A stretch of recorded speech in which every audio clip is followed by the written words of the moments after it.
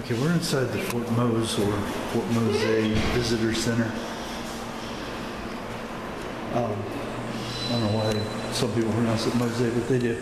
Um, So we'll, we'll stay with that. As you can imagine, this is a very, uh, uh, very much a, a uh, presentation of slavery. This is, there's a lot of inaccuracies and, and of course, misleading things in here. And uh, we'll look at those and, and uh, to a degree, try to address them. This is billed as the first free black community on the continent, which is probably true. Um, in 1738, more than 100 runaways reached St. Augustine. The government established a fort and a community for them near here. Fort Mose itself is out that way, a few hundred yards, and we're going to go check it out. Um, and, and all that, that is true. They're, they're, the English held slaves in these colonies, um, and they were not manumitted or emancipated um, until the, I think it was the 13th Amendment of the Constitution in 1866 or 7. Um, so between the time of the, uh, that the first uh, European landed here until that time, there were African men and women who were held as slaves. Um, not every person who was black was a slave. Many people who were black owned slaves. The, the idea or the practice of slavery uh, began uh, with the uh, neighboring Africans capturing and delivering other Africans uh, to the European, who then uh, took them either to Europe or to uh, this continent, or even to the South American continent, and, and made them slaves. I thought this was interesting here. This talks about uh, Francisco Menendez, uh, who was a leader here at this site. And then it says he joined the Yamasee Indian War and escaped with his American Indian allies to St. Augustine. Well, there were no American Indians, there were only Indians. There was an America, there was an American continent, there was no America as a nation, there was no nation in, in the early 18th century. Um, every, every colony ev- uh, was just that, a colony. It was a geopolitical designation, but it was, uh, there was a governor, and here, he was answerable directly to the, uh, to the sovereign in Europe, in, in, in uh, this case, the king. Um, and in, in the case of people living here, it was also the king, but it was a Spanish king. So, uh, or uh, depending on where else you might have lived in Canada area, it would have been the French king. So, um, these people were all answerable directly. They were not answerable to the people; they were answerable to the king. And there was no American Indian. There was no, you know, other kind of Indians. There was Aboriginal people that lived here They were Indians. They were all different kind of tribes, and they fought each other and enslaved each other and everything else for for uh, you know millennia. So um, that's probably so far the most glaring inaccuracy and uh, propagandist statement. Um, this talks about the languages that were spoke here. This was a very homogeneous area, a multicultural mix. Um, the Spanish apparently did not enslave the black, uh, or the African, I should say, directly. Um, although there is evidence of them doing that in their own country, they must not have done that here. Um, but they did bring slaves here with them. Um, eventually, I guess they manumitted um, King, what was his name, Carlos, uh, manumitted all the slaves and declared that anybody who was here was free. As long as you were a Catholic, you're good to go. Um, so, if you if you uh, trans or uh, converted to Catholicism, no matter what your nationality, ethnicity, or anything else, you were considered um, a okay. You were free, free to go. Um, this is a diorama of the fort. Very cool stuff.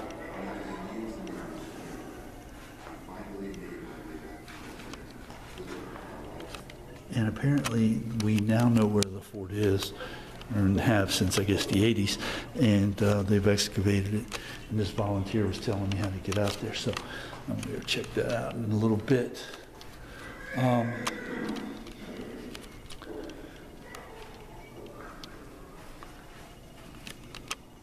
This I thought was cool. This is a timeline.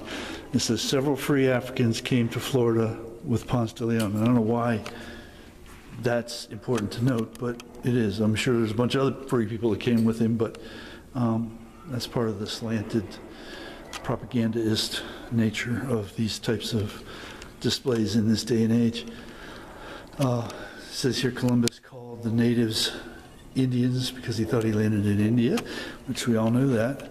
They're just simply Aboriginal people who have myriad, diverse cultures, languages, ethnicities, et cetera, et cetera. So um, well, that's kind of cool. It shows Narvaez.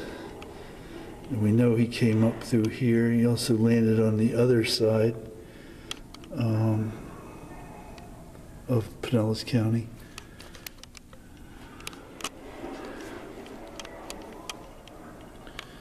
Shows Fort Caroline. To this day, we don't know where that is. We know about where it is. There's a replica out there, but no one knows exactly where it is.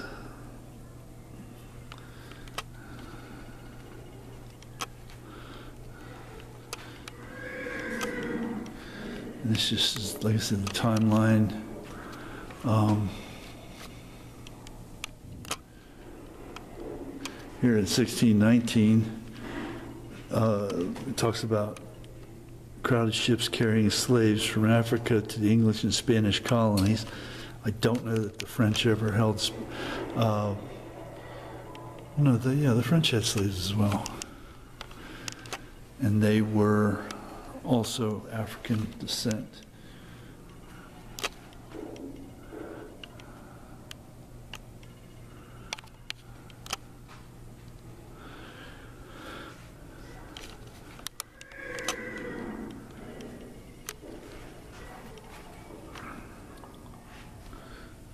Okay, and that just shows you, you really have to visit this place to, to see what's going on. To get a full view of this place.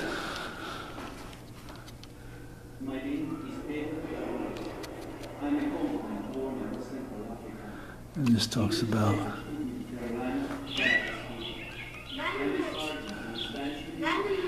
different uh, archaeological evidences of mosaic. So that's really exciting stuff. rather You live can go check- We're gonna go check out out here. See this really cool old boat down here. This is obviously the back end of this place.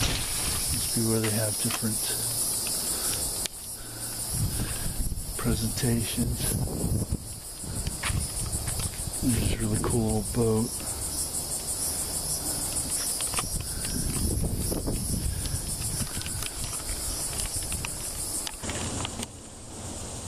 Okay, we're kind of doing this backwards. Uh, gonna go back out to the vehicle and see a couple of these kiosks on the way out. Some kind of cool old sculpture supposed to represent freedom. These are the Fort Mose tiles. many of whom slaves, Congo, Mandinga, the tiles, patterns are symbolic of special emblems of more immortal presence in African heritage and lore. So they're not original, but they um, they're emblematic. Okay, so I'm gonna go back out here. And I thought these kiosks were fairly. Um, ooh, let me show you this. That's pretty cool. I'll be able to remember this. Don't know if I'll get back here ever. But I'm glad I came. Been here once in the rain. It was we were under umbrella the entire time. It was a great trip, but wasn't conducive to seeing anything. But I thought this was very uh, even. So these must have been done a long time ago. These were more realistic. Um, this talks about the excavation of the fort. And again, you really have to see this in person to understand. Jose homesteaders.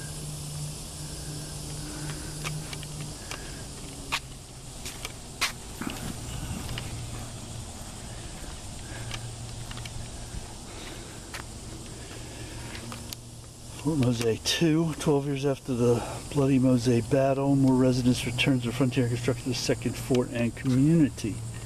That's an artist rendering of that. Here's some artifacts. Here's a really cool old drawing of a map, I should say, of where where it is and was. Was and is.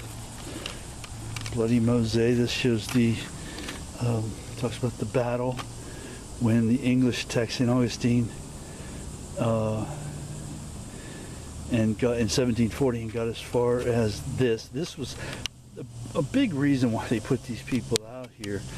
Uh, in addition to giving them a place to live amongst themselves and by themselves uh, in their own community, a big reason uh, was also this was north of St. Augustine, this was the, the northern approach to St. Augustine. So anybody coming down to attack it from the north would have had to run across these guys first. So this was more or less, as much as anything else, a, a northern defense, a first line of defense for St. Augustine. This talks about Fort Mose 1.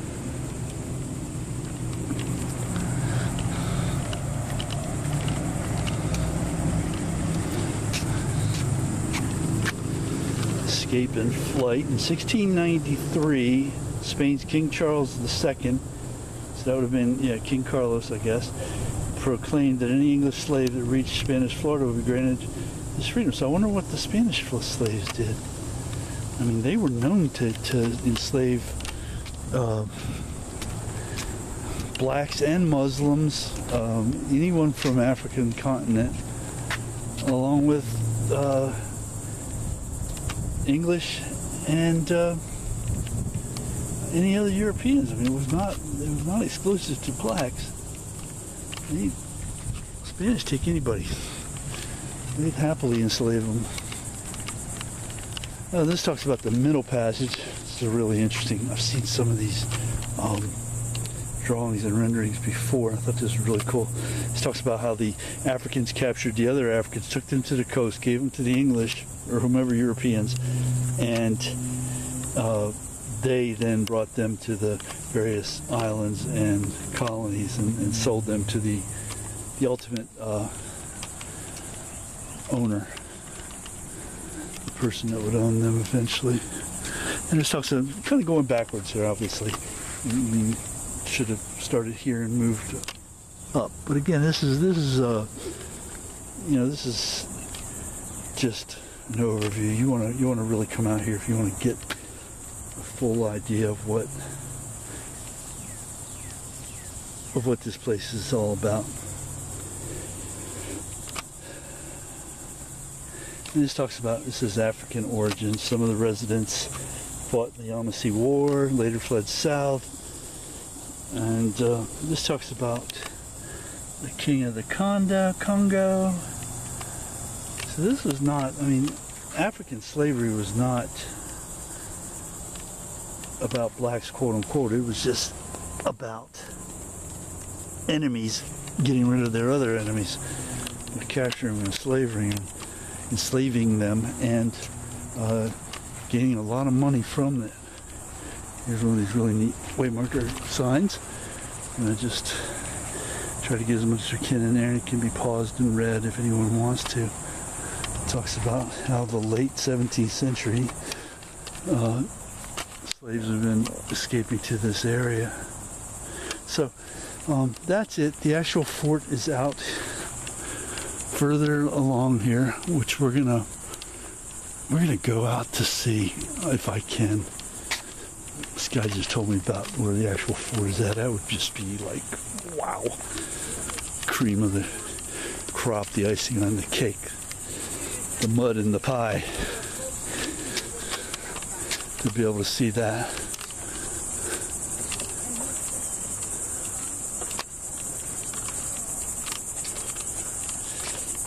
Real quick, look out on this boardwalk.